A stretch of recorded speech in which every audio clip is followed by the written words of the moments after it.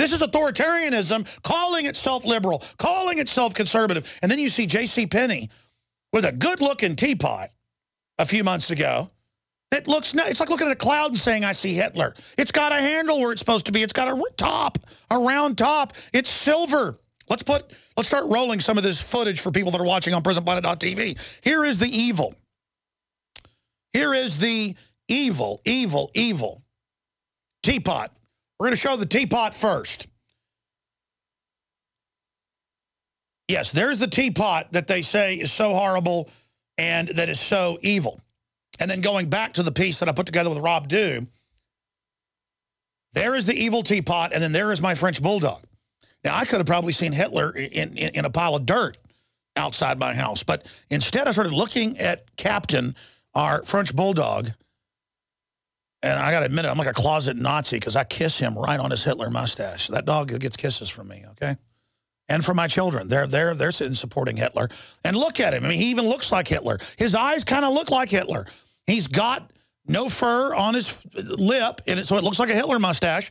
That dog, J.C. Penney's banned those teapots and had them destroyed. So I'm taking Captain today into the pound, and I'm going to have him put him in a gas chamber and kill him like they do stray dogs.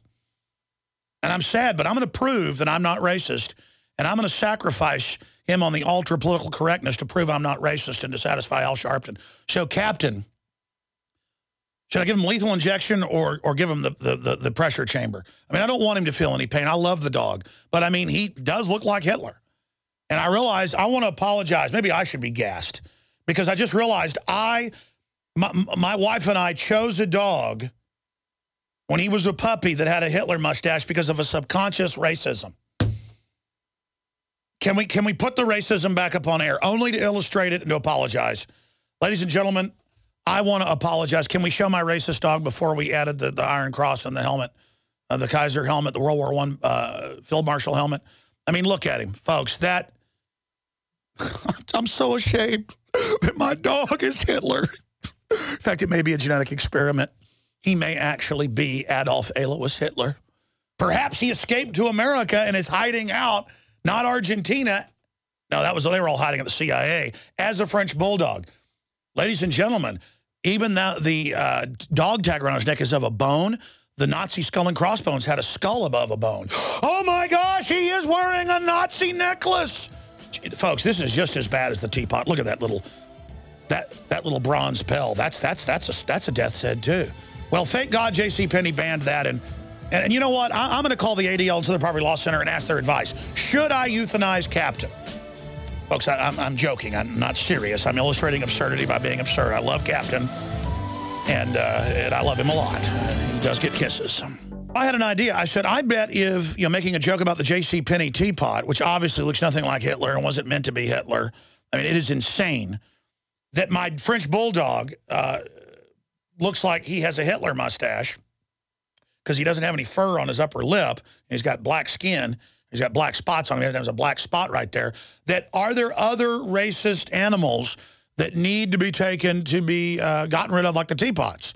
And uh, we did find some. If you type in Hitler animals or Hitler dog, we found a baby English bulldog, very racist. Heiling Hitler.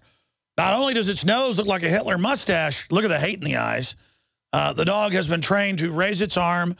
And, I mean, look, alert Al Sharpton immediately. And there's cats. Look at that cat right there.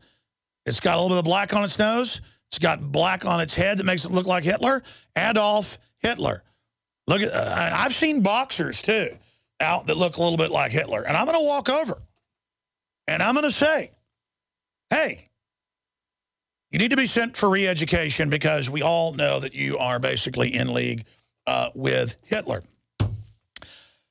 And, and, you know, I here and joke about this, folks. It tears my heart out to know how conscious this authoritarianism is and how they get us all obsessed with imaginary stuff. While meanwhile, we're all losing our Bill of Rights and Constitution, our basic freedom.